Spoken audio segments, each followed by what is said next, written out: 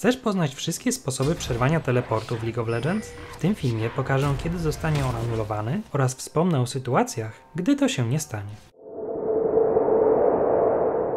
Cześć! Jestem Efrio, a to już kolejny mój poradnik do gry League of Legends. Linki do moich filmów dotyczących tej tematyki znajdziesz w opisie tego wideo. Sposób na przerwanie teleportu zależy od tego, kto go używa. Jeżeli to ty się teleportujesz, to możesz go anulować poprzez ponowne jego aktywowanie. W takiej sytuacji czas odnowienia tej umiejętności nie będzie wynosił 300 sekund, tylko 200.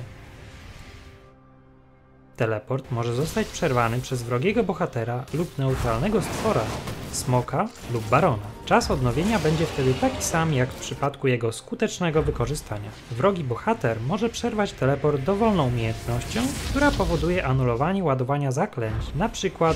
Null Sphere Kasadina czy Command Shockwave Orianny. W efekcie sprowadza się to do każdego efektu kontroli tłumu poza spowolnieniem. Co ciekawe, nawet sojusznik może przerwać twój teleport, jeżeli użyje umiejętności, która cię przesunie, np. Pilar Trandla.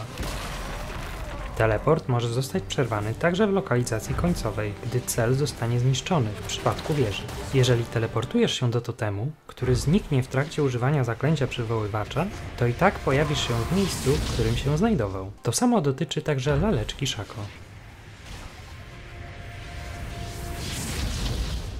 Oczywiście możesz też zabić teleportującego się bohatera.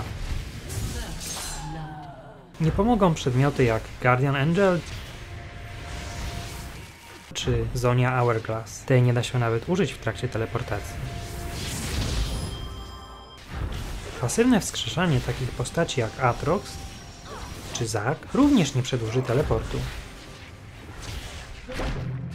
Wyjątek stanowi pasywna umiejętność Aniwi. Daj znać w komentarzu, czy podobało Ci się to wideo i pisz, czego jeszcze chcesz się dowiedzieć. Przypominam, że linki do moich poradników poświęconych League of Legends znajdziesz w opisie tego filmu. To by było na tyle.